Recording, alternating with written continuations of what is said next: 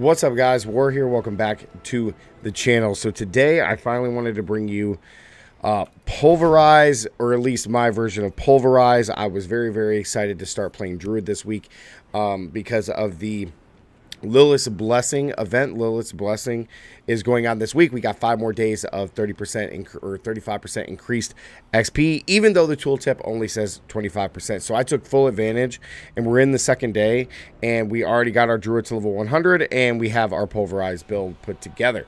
So I wanted to go over this build, just showcase it, man, because uh, I love playing Druid, and Pulverize was really the biggest build that we kind of put together back in the olden days in season zero, season one.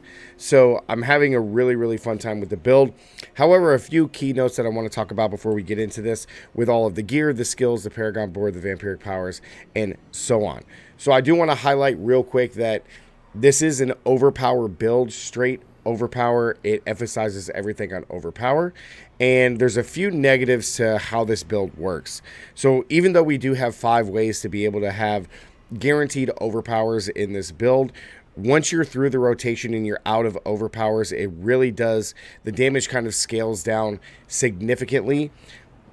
But with that said, when you are just cruising along, you're going to be able to smash through everything. This can do all Nightmare Dungeon 100s, clear all content, defeat Uber Lilith, do Duriel, do all of it in the end game. So this is by far one of the easiest builds to put together. So let's break down everything that you guys need for the build. So we are starting off using uh, wind shear and we're only doing enhanced wind shear for the chance for vulnerability. We mainly have this for the two points to go into our core skills, but more importantly, a key passive that we have later when we use a storm nature magic skill, and then we use the earth skill after, like pulverize. It's going to deal 9% increased multiplicative damage. So that brings us down. We're going to be doing Heart of the Wild for increased spirit to just to get to wild impulses for increased damage, but it costs even more spirit to use. Then of course we have where or pulverize into primal pulverize so that way enemies deal less damage to us. However, if you do want to use raging when you do overpower them, you're going to stun them for two seconds, which is nice. But I do really, really enjoy that they deal 20% less damage to me, which is insane because we're always pulverizing. So this is always on. Then we are maxing out predatory instinct for instinct for increased uh, close or crit strike damage uh, for close enemies, as well as iron fur for even more damage reduction. Then we're going to come down to our defensive skills. We're doing Earthen Bulwark up into Preserving. This is going to be a really big way to uh, fortify us. Then we also have Debilitating Roar, which is not only going to fortify us, but it's also going to help uh, with some crowd control effects against the enemy. We're going to slow absolutely everybody. And then we are maxing out Ancestral Fortitude to increase our resistances by 15% as well as Vigilance. So that way we gain even more damage reduction when we use a defensive skill. That is going to be Earthen Bulwark as well as Debilitating Roar. We're going to always be able to use those. Next, we're coming down. We're skipping Companions. We're going to come down to our Wrath skills. We're going to be taking 3 and Crushing Earth for more damage against CC'd enemies. 1 into Safeguard, so when we crit, we fortify even more and then we're doing Stone Guard. While we have Fortify over 50% of our max life, we deal 12% multiplicative damage. It's insane. Uh, now, we have Mending here for uh, while in Werebear form, we receive more healing, but that's just to get to Provocation, which is one, or excuse me, one of our five ways to be able to automatically proc Overpower every 16 seconds. Then, of course, we have Trample, which is our movement skill in the build all the way to Savage to generate more spirit when we're low.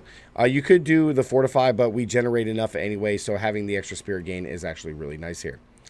Next, of course, our ultimate, we're taking Grizzly Rage into uh, Supreme Grizzly Rage uh, for even more Fortify, Unstoppable, and even more damage.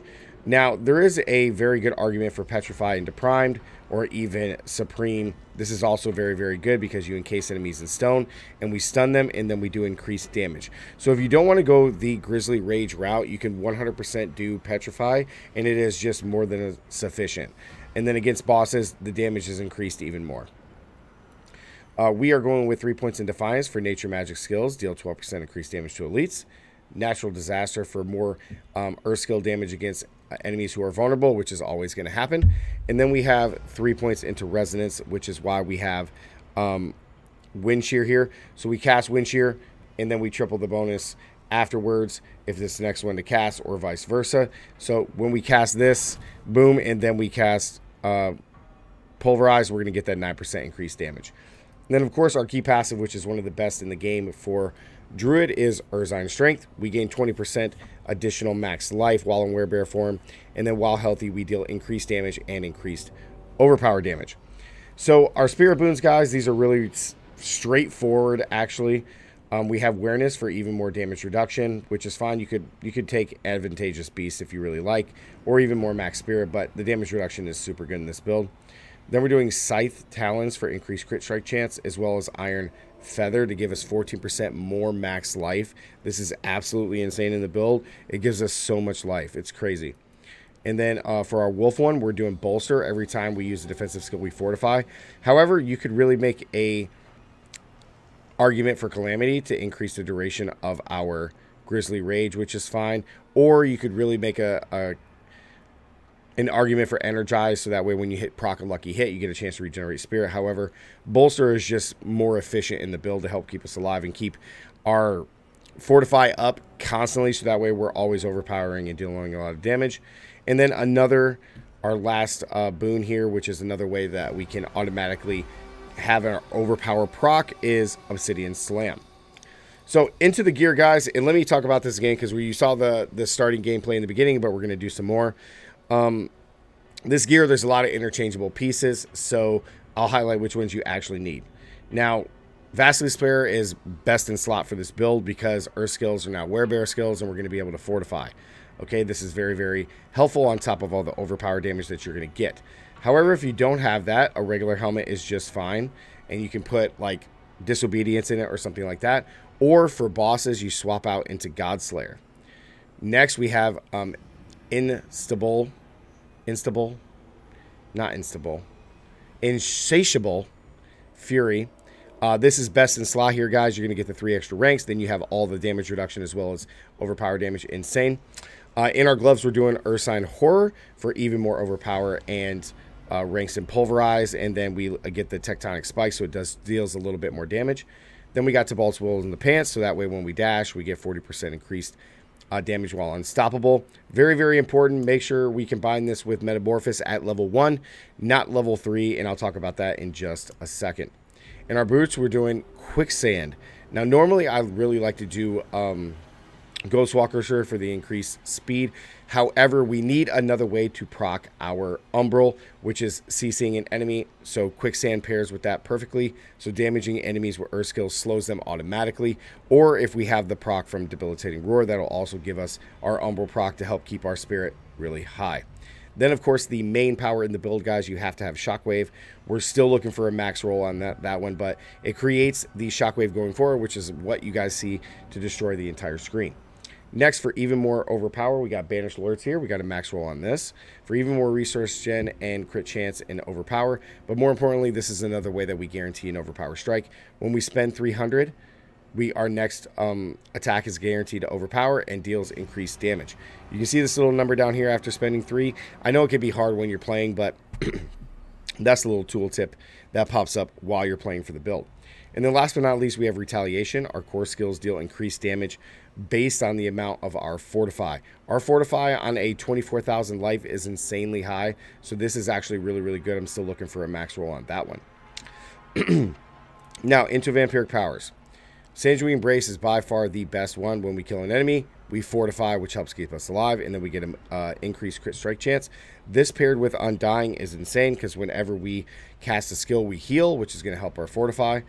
And then we have Blood Boil, which is our fifth way to guarantee an overpower. Um, this happens every 20 seconds. We get a guaranteed overpower. Super powerful for the build. And then we have Prey on the Weak. We deal increased damage to vulnerable enemies. Now, we have a few ways to make them vulnerable. In our Paragon board, we have Exploit, which makes them vulnerable, but our Metamorphose also will make them vulnerable paired with Prey on the Weak. Now, Metamorphose is our evade skill here to apply a curse and damage and to make enemies vulnerable.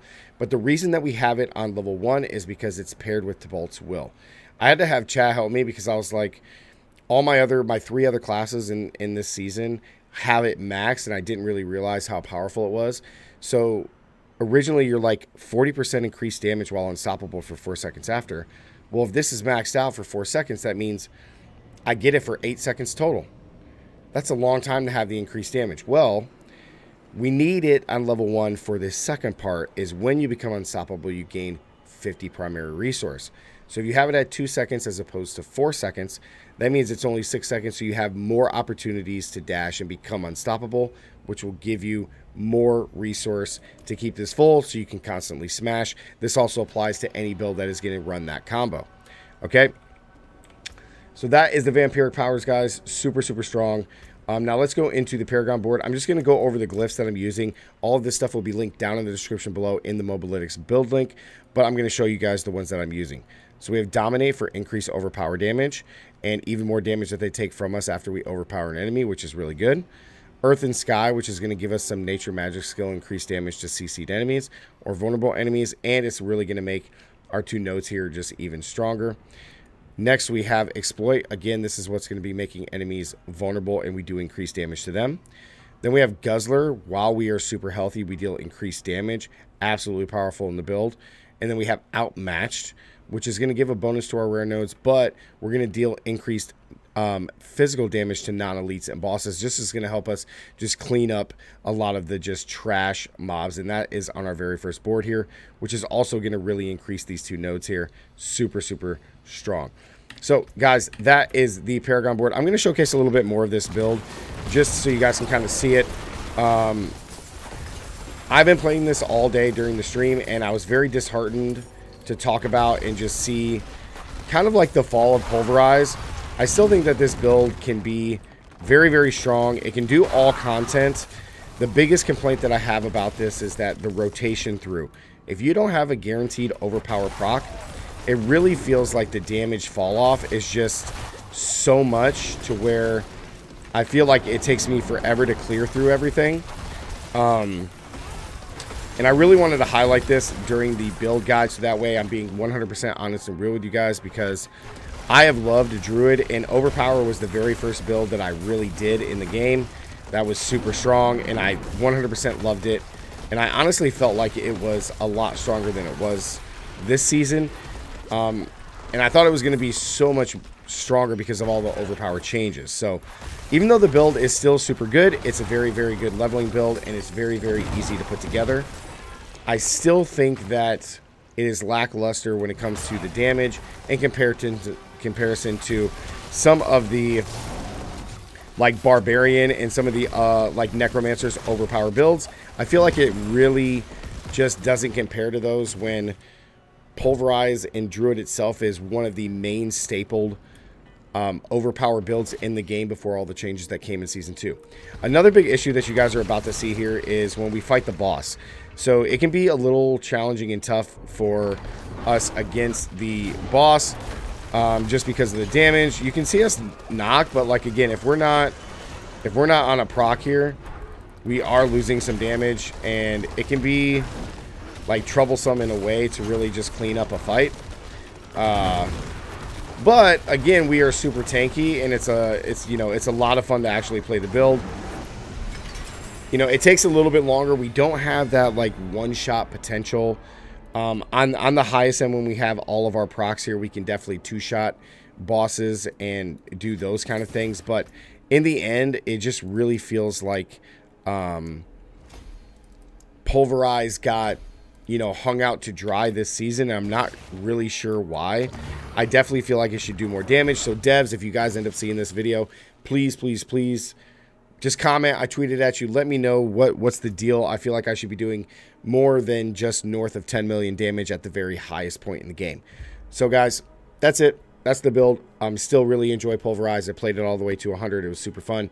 So like the video, comment down below. Let me know what you guys think about Druid and Pulverize this season. And as always, stay gaming. I'll see you guys in the next one. Peace.